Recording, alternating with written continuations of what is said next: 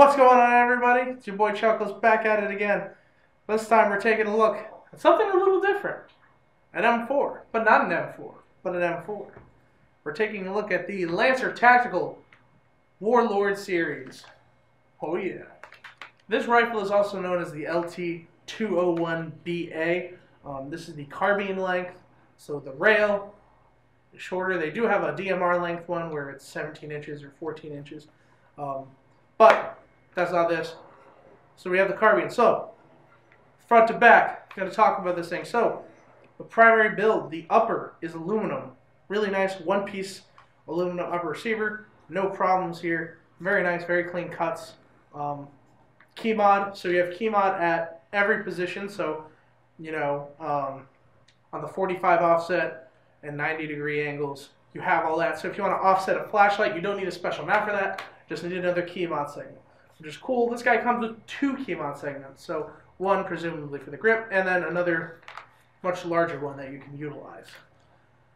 Barrel, uh, the rail, the rail is about 10 inches long, um, 10, 10.5 inches, and the uh, barrel we're going to say is approximately 14 inches.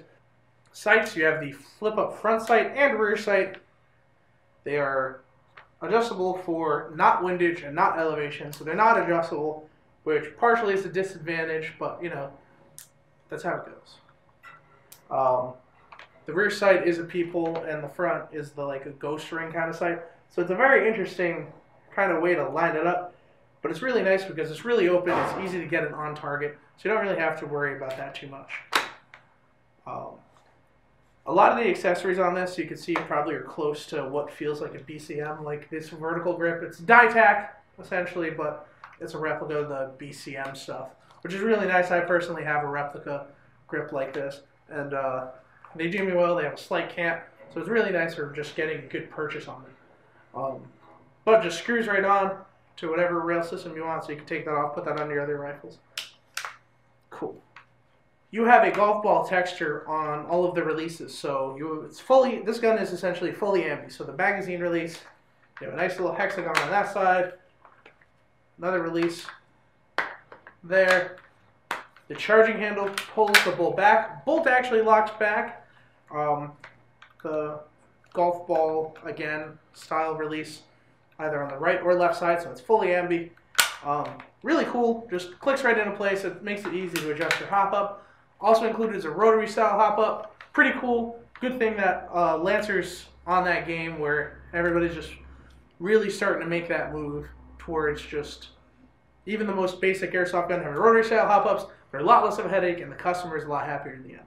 So very cool, and you still are cool enough that you get to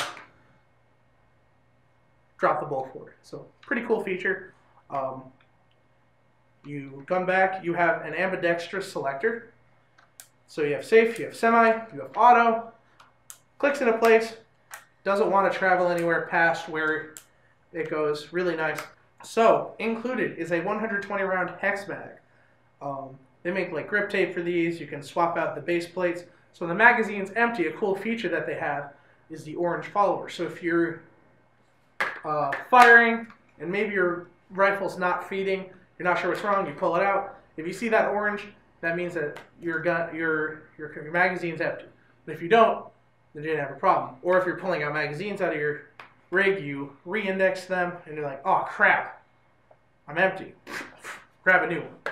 Very neat little feature that that has. Um, I like the look of the hex mags. If I was going to get another M4, I'd want to get hex mags personally. They just look really cool. Moving back, you do have an ambidextrous sling mount on the rear, so it's either on the left side or the right side. It's pretty small, so you need to make sure you're very selective with whatever sling mount you get. Or you could just do like a keyring on it, like people do with like an MP7 or something. Uh, really nice. You have the stock, which is only, which is adjustable. You have six positions, one, two, three, four, five, six. Closed, all the way open. Not too bad. Uh, it's really akin, it's pretty much an ARX stock on this thing, which is kind of nice. They're really low maintenance, they don't have to do a lot. Easy to adjust, they're not a pain, just wherever you like it, you're good. The back is also where the battery is stored as well. So what you do, grab this guy, pull him down just far enough that he'll get past this lip there, and boom. Um, you have to be careful with what batteries you select. You could fit a brick type 9.6 uh, in there. It'd be tight because you'd essentially be fitting it in this space. So you actually probably wouldn't. You'd want to run a 7.4 or an 11.1 stick type. Um, I'd recommend the 7.4 versus the 11.1 just because this is not a rifle that has a MOSFET in it.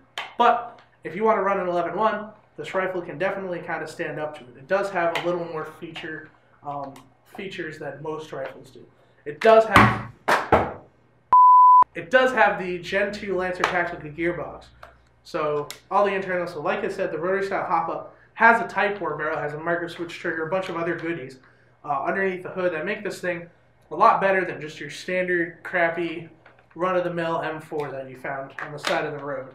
So definite step up. FPS-wise, we got this thing shooting about 345 with a .25 gram BB, so it's perfect indoors, outdoors, if you don't mind a little bit of the length, then uh, perfect for indoors. Outdoors, this thing will do great. Um, put a little bit heavier BB in it. If it's shooting too hot at whatever field you have, you might have a lower limit than most airsoft fields. Again, that quick change spring is going to drop the FPS. I kind of like the look of the rifle. It's kind of like an M4. It's like an XCR, I'd say, more than anything. Like, it has the one-piece upper. It's really cool, but it has an M4 lower. It's really stylized and different. It stands out. If you want a starter rifle to mid-tier rifle that has a lot of swag, swag, swag, swag components to it, these are the rifle to go to. They're going to be good for indoors and outdoors, and they look really cool. Honestly, these have generated a lot of interest with their customers, so um, they very much like the look of the Warlord series rifle. So definitely, if you haven't already, Come check it out. It's fully ambi. It's a great idea. Indoors, outdoors, this guy's going to be a monster out there. Going to be reliable. Alright guys, other than that, thank you so much for watching. Uh, don't forget to like this video, comment on this video, see if you would run this thing, or if you would buy yourself some Hex Or if you would buy this thing, or not. Lancer Tactical is really stepped up their game, so we're impressed overall. Um, really great features. So don't forget, like us on Facebook. Follow us on Instagram. ExtremeAirsoftRI.com. Check us out. Whatever recent events we have going on. Make sure you stay up to date with anything. Other than that, it's been your boy Chuckles, and we'll see you next time. Cool. The lower... Oh, God. Somebody's dying.